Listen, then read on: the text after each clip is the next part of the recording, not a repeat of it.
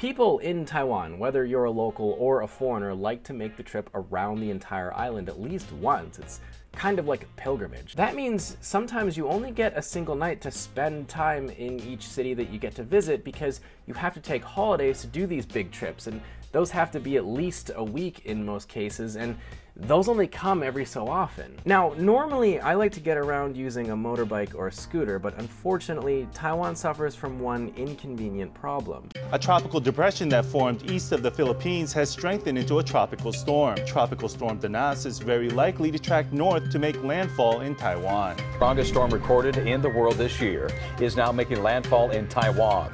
It is called Super Typhoon Meranti. Forecasters warn that Typhoon Mangkhut, a much more powerful storm, is still on track to directly hit southeastern Taiwan over the weekend. Yeah, it's fatally, frustratingly, fantastically, and frequently forcefully fucked by typhoons. So this time I'm actually going to be taking a car, and that's going to help me stay, number one, dry, and two, it's going to help me go further and faster. So I guess despite all my rage, I am just a, a YouTuber in a cage. Won't be as fun, but oh well.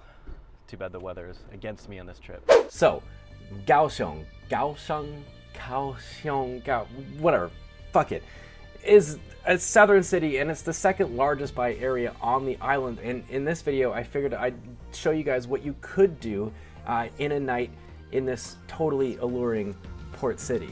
Trust me, it's totally worth checking out.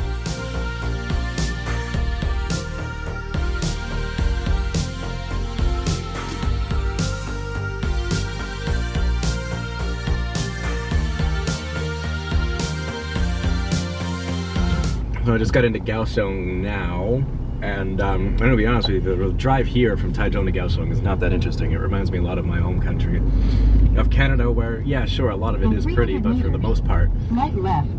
it's not that nice. There's no mountains or water to look at on the way here. That's all on the other side of the island, which is why I'm taking a car, is because that drive is actually really good. But if you're just gonna stay on this coast, the east coast, or the west coast, whichever coast I'm on right now, I can't think, um, I would just take a train because it's quicker. This is rather terrifying. I think the further you get away from Taipei, the more laws and rules of driving start becoming more of like suggestions.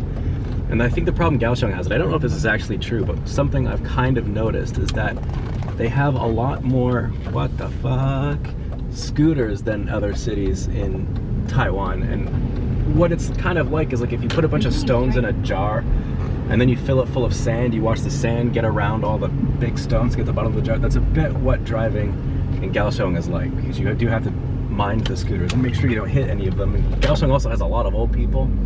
Um, at least I'm noticing on scooters, and there's a lot of old people that sh shouldn't be riding scooters, which is another terrifying part of driving here. But um, it is one thing you'll notice the first that time you come to Kaohsiung is the driving here is just atrocious compared to other parts of the island. That was a scooter accident. Did you get that, cameraman? Okay, so this hotel only cost me about 1180 NT, which is near as makes the difference about 37 USD, which is pretty good. Yes, it's a little bit small, but it has a bed, and that gets the job done. Uh, and it is in the city center, which is kind of what I wanted. You can get something more expensive if that's your thing. Bathroom's nice, and that's one important thing about Taiwan. I find a lot of these older hotels have really terrible bathrooms, but uh, anyways, I fancy a beer. Let's go see what Tai uh, Kaohsiung's nightlife has to offer. My first stop has to be, like most cities in Taiwan, a night market. The closest one to me was called Liuhe. It's a small market only occupying a single street, but busy nonetheless. Places like this makes you glad you're not an aquatic animal because the Taiwanese will absolutely eat you. Have the gods no mercy?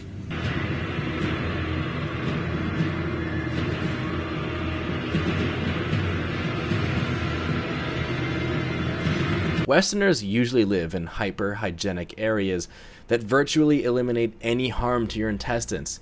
If you're new to the island, then be prepared for that change because you'll be eating fresh from the ocean, cooked on a grill monsters of the sea, and there's no telling what that'll do to your body. If you want to travel Prozzie style, make sure that you're so completely useless at eating seafood that the master has to come and tell you how to do it, and then take those clear instructions and fuck it up even more. Now it's on my hand. I'm messing this up. Want to know what goes really well with beer is oysters. Personally love them. Anyways, back in China, they used to add like a ton of garlic over the top. And back home, I don't know that we eat garlic with lobsters. Usually a little bit of Tabasco and stuff. Not lobsters, oysters, sorry.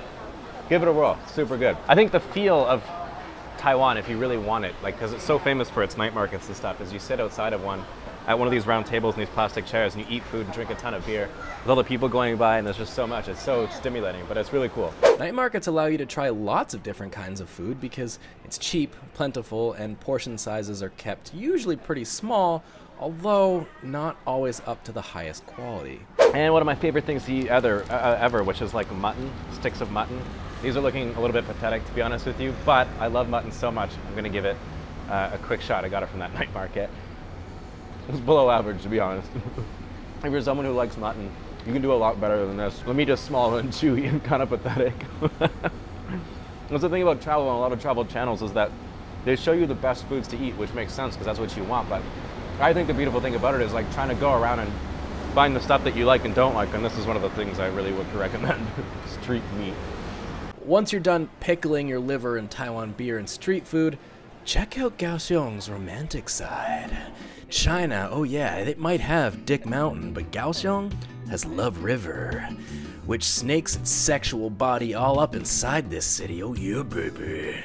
I'll say this about this fucking river. I've been walking it for ages, and I swear to God, I know it's Love River, but love itself doesn't last as long as this friggin' thing does. It's super long, but it's very pretty. I mean, you got boats going by and stuff, and couples. It's actually a fantastic place for a first date. I would, I would, I would give it a shot. Maybe rent a bicycle though. Want to impress your date? Look no further. Sit down, relax, and be prepared to have the local talent serenade you with Kaohsiung's sexiest music.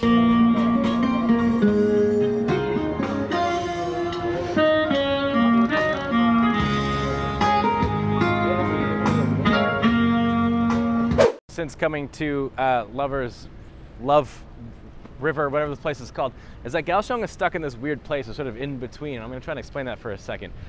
See, when you go to somewhere like Taipei, you know it's a big city. You can tell it's a big city. It's, it's got, you know, that sort of international city feel, something like Shenzhen or Shanghai or Tokyo or Seoul or something like that. Taichung, where I live, is a big city. It's one of the major cities here in Taiwan. However, it doesn't have that same feel. There's lots of parks, lots of, uh, well, like slow pace of life and a good place to raise a family, a good place to retire. It doesn't really have a nightlife. It kind of loses that big city of appeal. Kaohsiung is stuck right in the middle of that. You've got Love River, which is like this nice place where you come on a first date. But then you've also actually got like a nightlife. You know what I mean? You've got that big city feel. So it's like if Taipei and Taichung had a baby with a higher temperature, that would be that would be Kaohsiung. Uh, that's the only way I know how to explain it. At least that's the feeling I get from it so far. This is Love River. Highly recommend checking out. Speaking of dates, I'm gonna meet my next one, a fellow YouTuber. Let's go see that. I am here at uh, Lighthouse Bar. Is that what this place is called? bar and Grill. Bar and Grill. Pretty much a pub, um, a Canadian one at that, I believe. Well, And, yeah, uh, there's a huge Canadian flag right behind us. so I think that probably gives it away. Yeah, but anyways, uh, I'm here with a local superstar and fellow Canadian YouTuber. Uh, barely. One thing I love about Kaohsiung is like you guys actually have a, a nightlife, and especially a foreigner one too, which is something you can really can come to appreciate. And I understand you're coming to a new place, you want to have like local stuff and stuff like that. But it's so cool that you guys have poutine. You guys have like three different places that have poutine, like a Canadian Well. I, I didn't realize that other cities in Taiwan didn't have that. I don't think I don't think that we do. At least not in Taichung. Because my best friend lives in Kaohsiung. He's lived here for. I live in Taichung. Sorry, man. Um, we only met a couple We're months only lovers. ago. We're not best friends. I get it. Let's not make it more than what it is. We're working our way out, buddy. so, okay, a very good friend of mine. Hmm. He's been living in Kaohsiung for a couple years before I got here.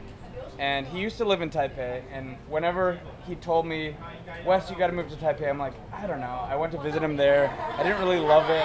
But then as soon as he moved to Kaohsiung, I was like, okay, maybe that's somewhere where I could actually live. It seems like a very livable city. It has a big foreigner community. It's right on the ocean. The mountains aren't too too far away.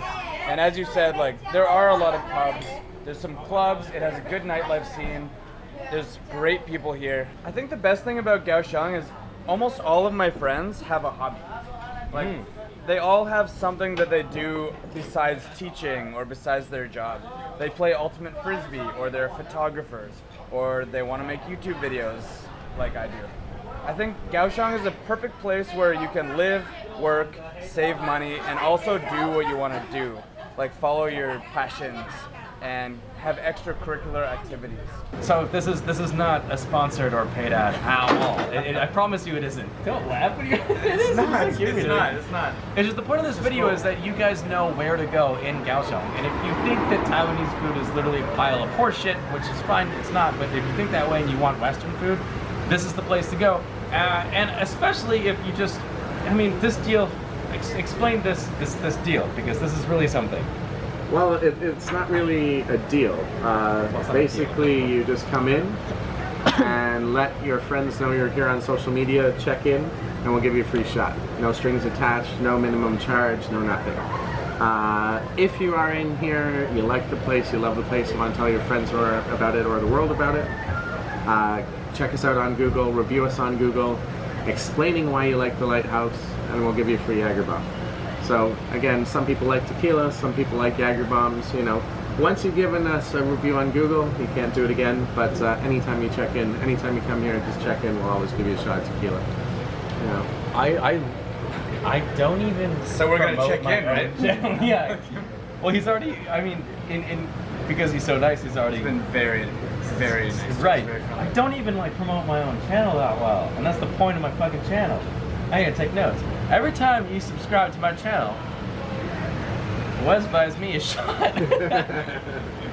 That's fantastic. So yeah, just come here and do that. And uh, again, like I know it's not like a local thing. I know that uh, if you're here in Taiwan for the first time, maybe it's not something you.